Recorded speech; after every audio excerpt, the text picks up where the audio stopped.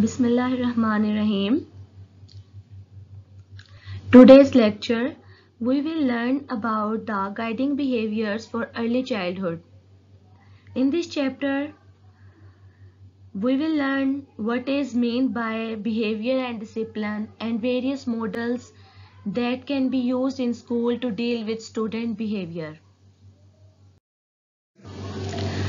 After completing this chapter, student will be able to understand the behavior management system for early childhood education and they will be able to identify the use of how to use the different models of behavior management to deal the to deals with behavior management problem in the classroom.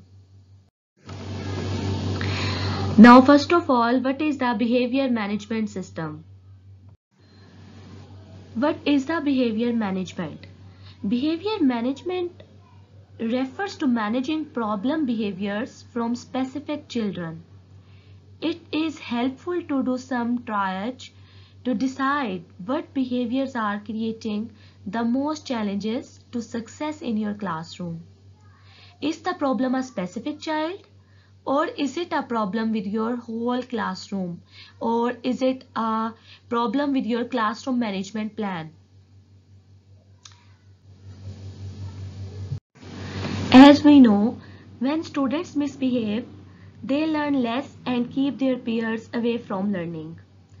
Classroom behavior problems take up teachers time and disrupt the classroom and the school system so the behavior management is a process that guides people to change their actions within a specific context. It is usually used to change negative behaviors and habits such as those that occurs in education and behavioral health. This process involves identifying the negative behavior that create disturbance in the classroom, raising awareness about the alternative behaviors that are desired behavior for the classrooms and desired by the teacher and school for the successful teaching learning process, changing the environment to reduce the negative behavior and offering positive reinforcement to encourage alternative or desired behaviors for the smooth process of teaching and learning.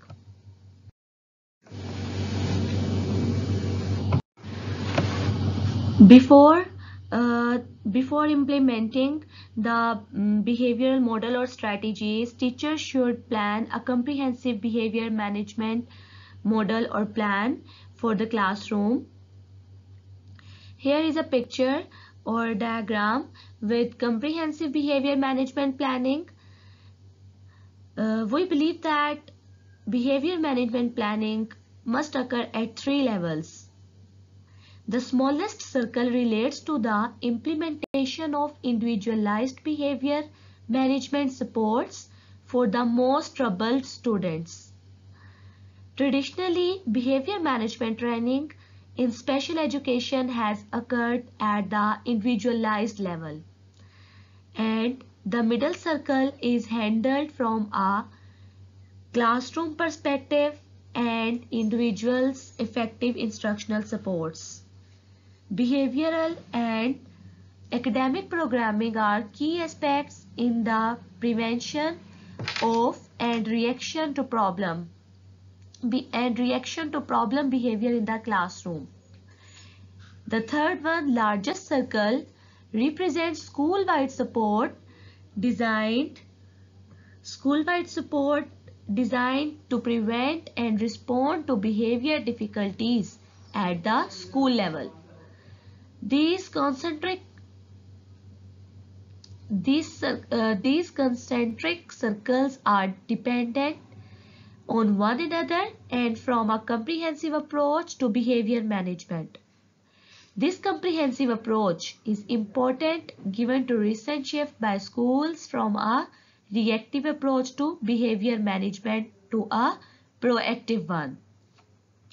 In this chapter, we will uh, discuss about the discipline and various models that can be used to deal the students behavior in the class. Now what is the discipline? discipline involves teaching others right from wrong.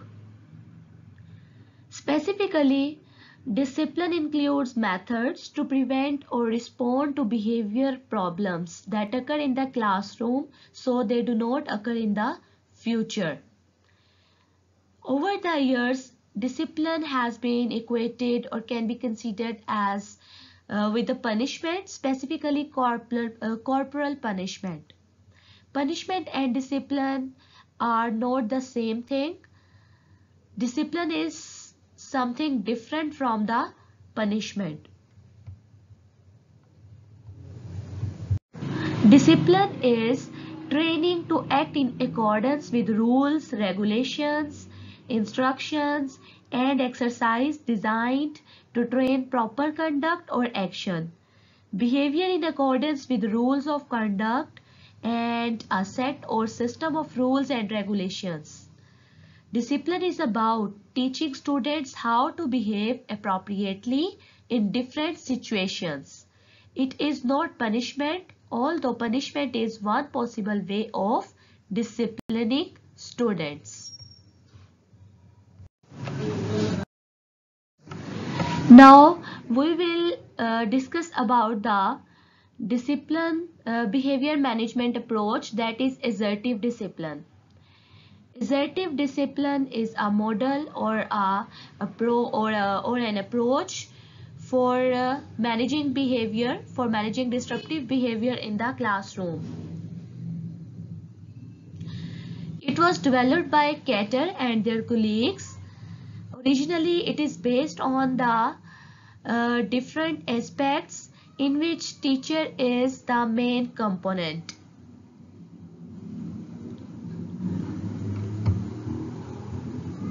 The focus of this model is on how the teacher responds to misbehavior. It is up to the teacher to keep students in line during class. Therefore, uh, their uh, Canter's focus was on getting and keeping teachers in charge. According to Canter and his colleague, the assertive discipline in the assertive discipline, teachers have the right to determine the environmental structure, rules and routines that will facilitate the learning. First, teachers must acknowledge that they can do that they can and do affect student behavior. Second, teachers must learn to display an assertive response style, which is most effective style they can have. Thirdly, teachers must make a discipline plan that contains good rules, regulations, and clear effective consequences. Fourth, teacher must provide student instruction on the discipline plan. And finally, teachers should instruct students on how to behave responsibly and in a desirable manner.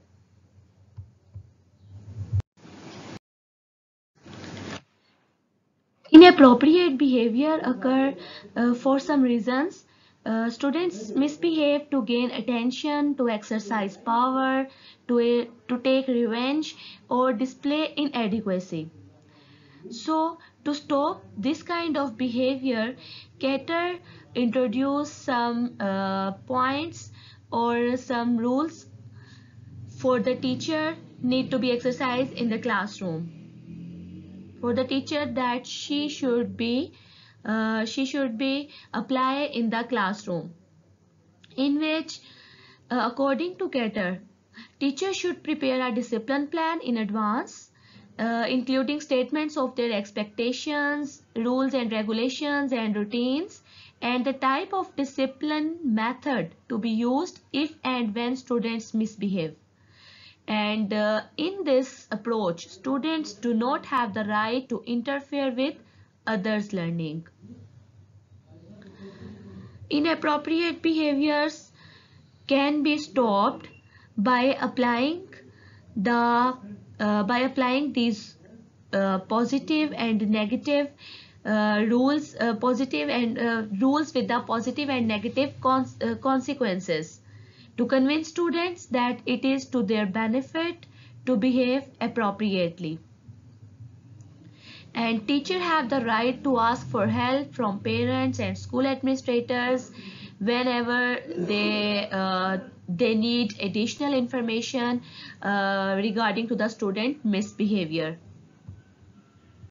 Basically, assertive discipline is uh, based on the assumptions that teachers are the leaders of the classroom and uh, that they should use punishment to bring control to the classroom if it is needed. A major positive aspect of assertive discipline is the concept that student behavior in the classroom results from what teacher do in the classroom. According to Canter,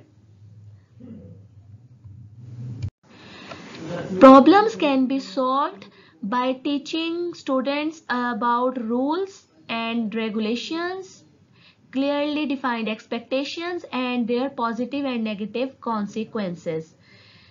This is the main focus of this assertive discipline. Assertive discipline seems to be a behavior reduction method that can work under some special or certain circumstances. But unfortunately, if assertive discipline does not work to suppress or to eradicate the unwanted behavior, it does so in a manner that may well make the long-term problem of disruptive behavior worse. The use of threats and warnings along with the lack of reinforcement for appropriate behavior may seriously compromise the efficacy of this approach. So along with this, teacher can use the reinforcement system to for the desired behavior of the students and uh, he or she can use different reward and incentive system to create a desirable behavior in the classroom or to suppress the unwanted behavior in the classroom.